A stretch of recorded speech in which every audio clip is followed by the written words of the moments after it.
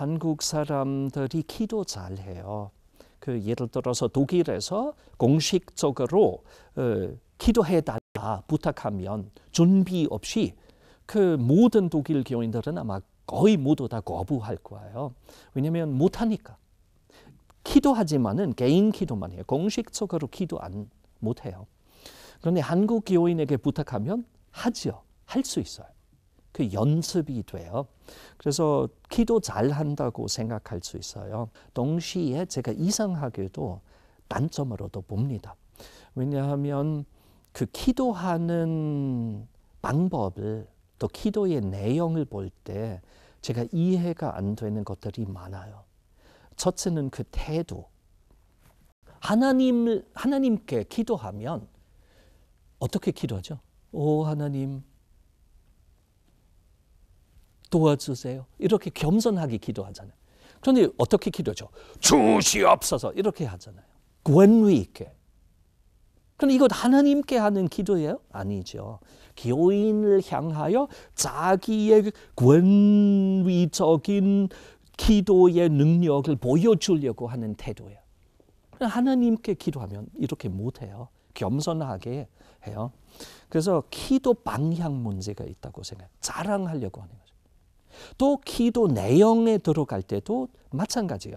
그 예를 들어서 오늘은 여기에서 어, 우리가 그 성탄 예배로 모였습니다. 또 특별한 손님도 오셨습니다. 이렇게 기도 중에 해요. 그래서 기도 안에서 정보 부분이 있어요. 그런데 하나님이 전능하시고 다 아시는 분이신데 왜, 한, 왜 알려주죠? 하나님께 알려질 필요가 없어요. 그래서 교인을 향하여 하는 내용도 나타나요. 기도는 대화예요. 우리가 하나님께만 우리 요구하고 그 다음에 아멘하고 도망가 버리면 안 되죠.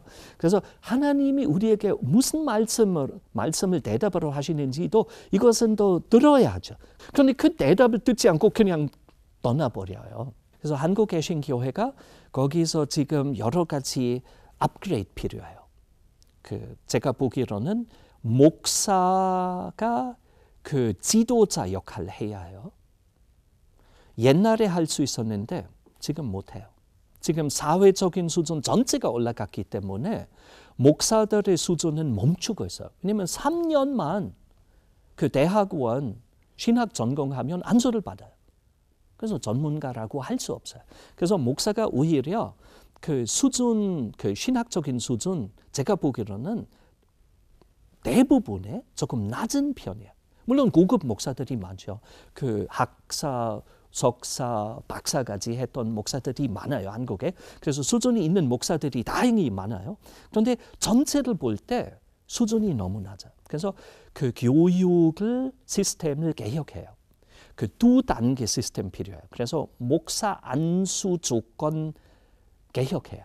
그 3년 아니고 5년, 6년 정도 그 조건으로 만들어야 그렇게 해야 학교들은 학부에서 기본을 가르칠 수 있고 대학원에서 그 실천하고 토착화적인 그 지금 필요로 하는 새로운 자산을 어, 그 가르칠 수 있어요.